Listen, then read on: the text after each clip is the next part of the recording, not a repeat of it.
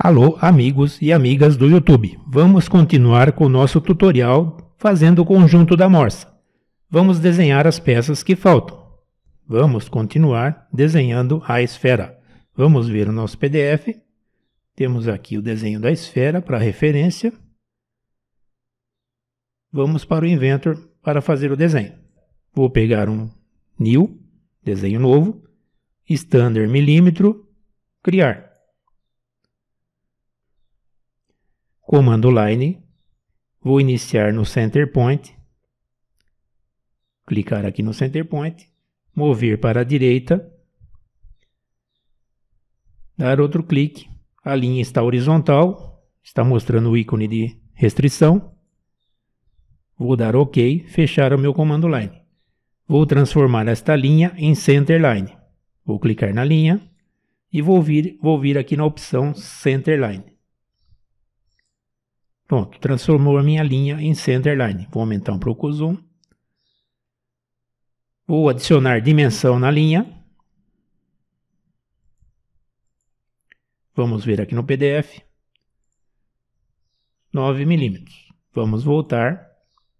Vou entrar com 9 milímetros. Agora eu vou desenhar o restante do contorno da esfera. Vou pegar o comando line Vou iniciar um pouco aqui em cima, em relação ao center point. Clicar aqui, dar início à linha, vir até aqui embaixo um pouco, está bom. Dar outro clique, mover para a direita, deixar a linha horizontal. Vou alinhar com a minha linha de centro 9 mm.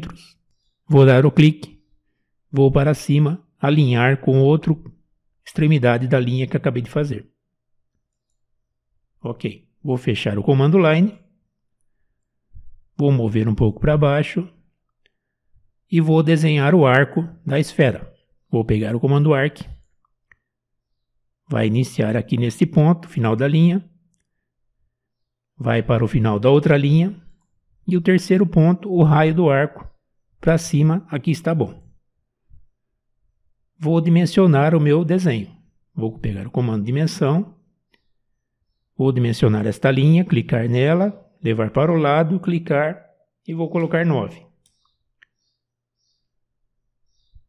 Vou colocar o raio do arco. Vamos ver aqui no PDF. É 12, raio 6. Vou entrar com 6. Ok.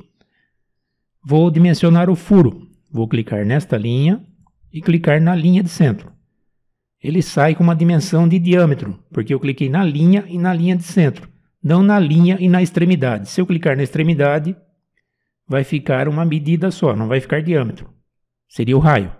Vamos depositar a medida aqui e entrar com o diâmetro, 4. Ok. Ainda falta restrições, a minha, a minha linha está azul clara, não restringiu. Vamos restringir. Vou pegar vertical, restrição vertical, Vou clicar na extremidade dessa linha e clicar no Center Point do Inventor. Pronto, restringiu. Vou restringir o centro do raio com o centro da linha, do meio da linha de centro. Então é coincidente.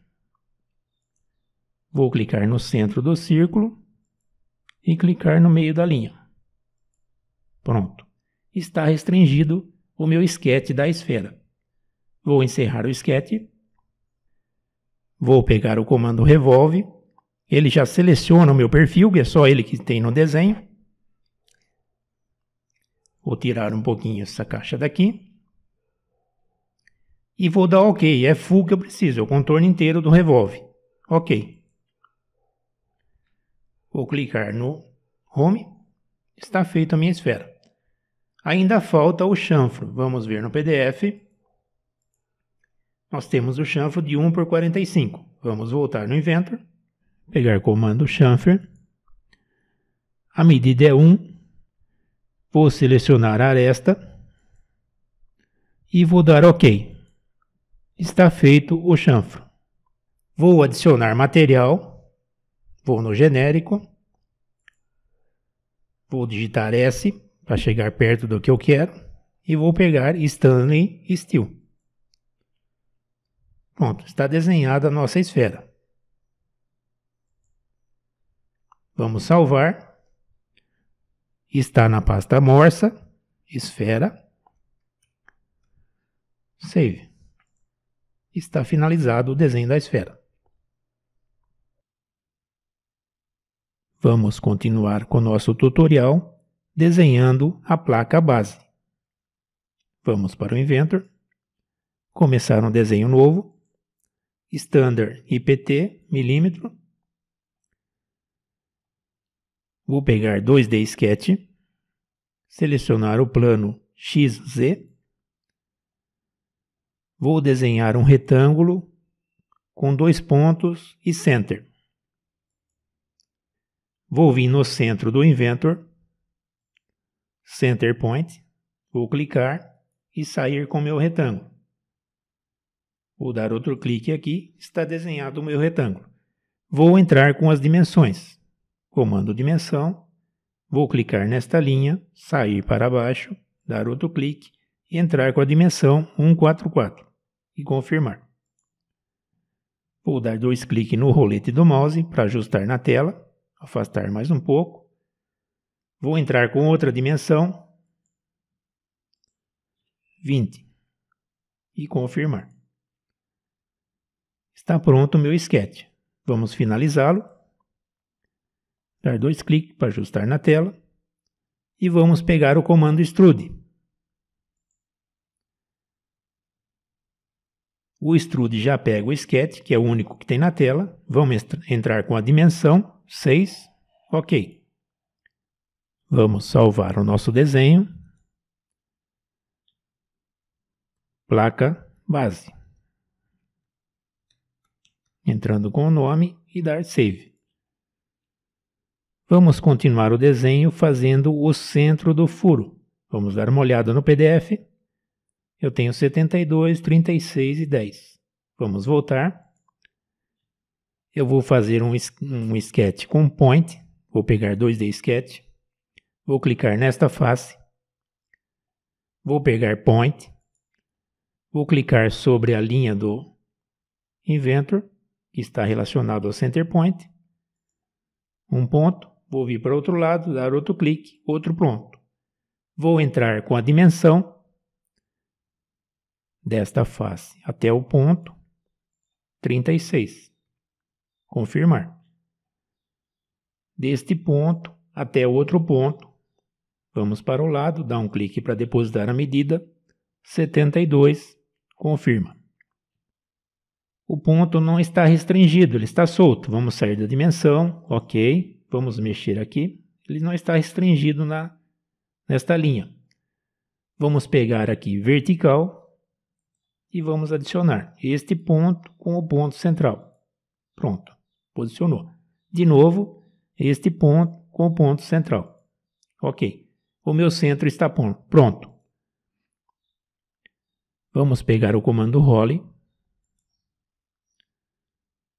Eu vou fazer um furo escariado Vamos ver a dimensão. 12,6 por 90 por 6,6. Vamos voltar. O início do escariado tem 12,6 por 90. Eu tenho 6 de extrusão, vou colocar 10 de furo.